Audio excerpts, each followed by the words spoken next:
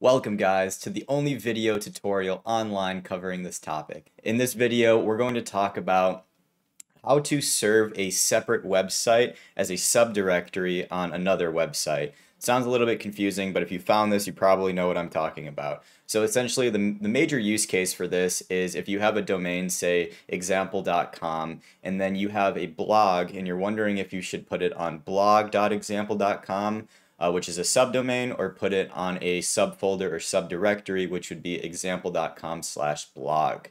The reason you would do this is for SEO.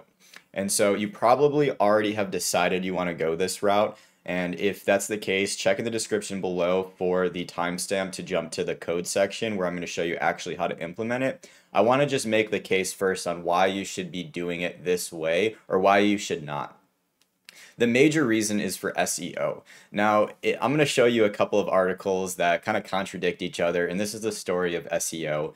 But ultimately, we pretty much know that having your blog on your main domain is going to be better for SEO. So this is the infamous video that everybody references when it comes down to this topic and it's Google explaining that there's really no difference for SEO for a subdomain or for a subdirectory. Now, with anything that Google tells us, we have to really analyze it because they often say one thing, but it doesn't really always mean exactly that. They're omitting some other stuff. So they're not lying, but there's just other context you have to be aware of. And so what Google is saying here is that the web search is fine with either using subdomains or subdirectories, which is true. So if you have a brand new domain and you're deciding to put your blog on a subdomain or your regular main domain, it doesn't make a difference for SEO. Google doesn't look at subdomains as like a lesser of a domain and not treat it well within rankings. And so that statement is true. But where this unfolds is when it comes to a site that's already existing and has built up a lot of search engine optimization and backlinks and just authority on the internet.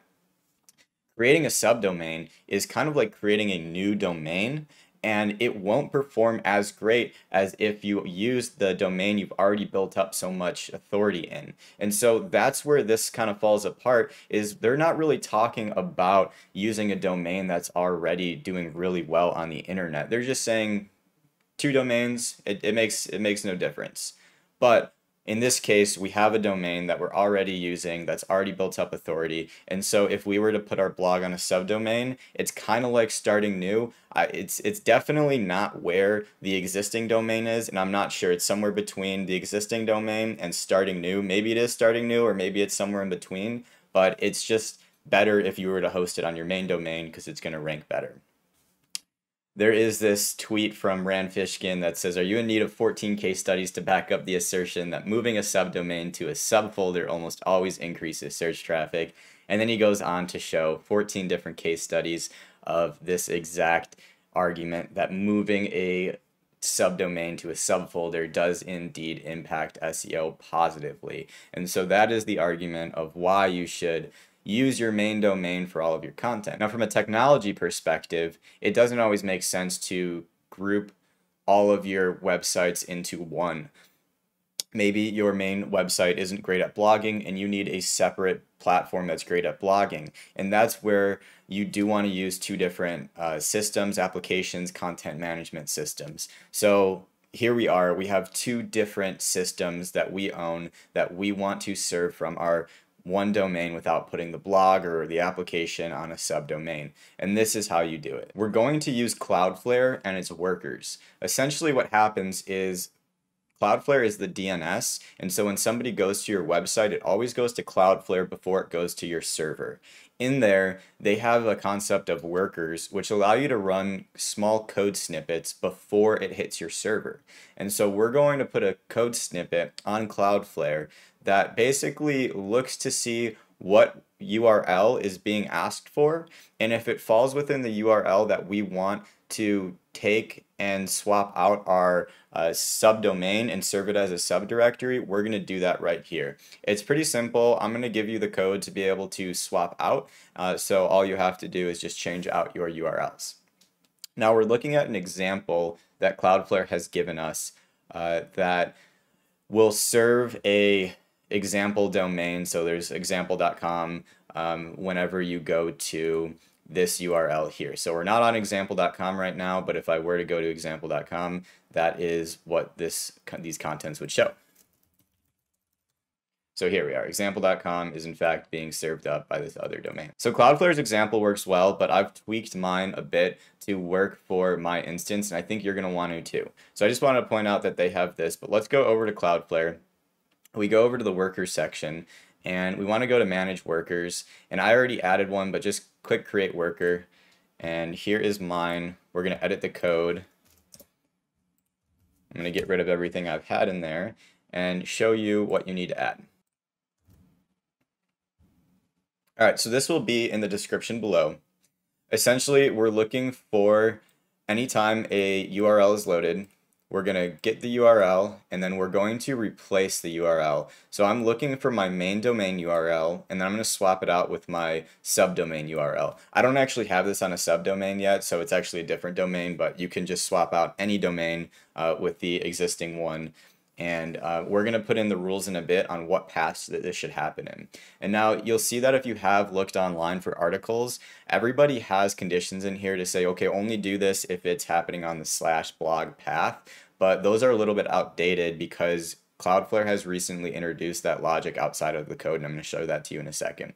And so basically all you need to do here is put your the domain you want swapped out with the, uh, the new domain. Okay, and then we're going to click Save. Now, as of right now, this code won't run at all. And here is why. I'm going to go back to the workers. And now we need to click add route. So when we add a route, it tells Cloudflare on which URLs we should run this code. And that's what I was saying, that a lot of the articles online have this logic within the code, but you don't need to put that in there anymore. And so that's why I wanted to make this video to show you like an updated resource on how to do this properly. All right, so what we need to do is add our URL in of the path we want to look for. And so mine is slash authorities. Yours might be slash blog um, or whatever the, the subdirectory is that you want to swap out with your subdomain. Put that in here. I also put an asterisk in the front and the back uh, just because those will match anything. So if there's anything in front or back that changes, um, it'll match that. If you only want one page, then you can put the exact match in there but I'm going to keep it like that and then select my worker. So now it's saying on this URL, whoops, on this URL, run this code, this worker, we're going to click save. Okay, now I'm going to go to this URL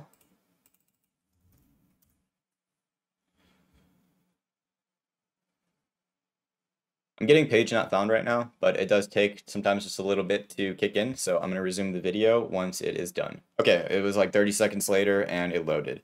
Now, uh, this is a separate website. So it is successfully loading the separate website. But,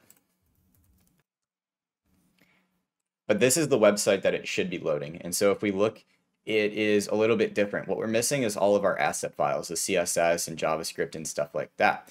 And this is um, how you find out where your asset URL is because you're going to need to know it. You can go to inspect element and then go over to the console. And then I'm going to reload so it renders here. And so what it's saying is it's failing to load these resources. This is a CSS file, this is a CSS file, we got some images in here. And the problem is it's trying to find them at our main domain where in fact these files are in our uh, subdomain or other website. And so what we need to do is go back to the Cloudflare workers, we need to add a route, and then we need to add the route of your CSS files. And so we're going to do the same thing where I'm going to say we're looking for the main domain, but now I'm saying if it goes to sites default files, which is right here, sites default files, we need to swap out the main URL with the uh, the subdomain or other URL. And so I'm going to run the same worker because all this worker does is swap out the URL. I'm going to click save. And now this worker will run on my web page and any of the assets that are supposed to get loaded with it. And so we'll try to reload right now and boom, my assets are there. Uh, I read online that you're going to have a problem with this if you're using um, the same asset directory as your main website And so if your main website uses site's default files and your subdirectory uses site's default files for your CSS, then it doesn't, it's not going to be able to find the other ones. Um, there is some information on the internet uh, on an article I found. I'll try to link that below if I can find it again, but I didn't run into that problem, so I don't have to troubleshoot that one. And then just to show you right now, I'm on attorneyatlawmagazine.com slash authorities. And if I were to click home, I now get navigated to this is a WordPress site, and then the other one I was on was a Drupal website. So they're two different websites that's getting served up. Now, hang on, I want to tell you one more thing, and that's the caveats that come along with this or the nuances. This only works if you're loading content from the server, which is called a GET request. If you're sending information to the server, which is called a POST request, this won't work. So submitting forms or logging in won't work. So if I were to try to log in here, it just wouldn't let me in. Uh, and, and, so you have to keep that in mind. If you want your users submitting forms or anything like that, it won't work. You could probably embed a form uh, from a, an external service and it would work that way, but anything that's getting sent directly to your server and not a third party server is just not going to work. There you have it, guys. I hope this really helps your SEO and you get more traffic driven to your site and you still get the benefit of being able to use two different applications to accomplish what you're looking for. Thank you so much for watching till the end, guys. I appreciate you. And I cover a lot of content on Cloudflare and a lot of technical stuff. Check out the channel if you're interested in it. Thanks for stopping by, guys, and we'll catch you later.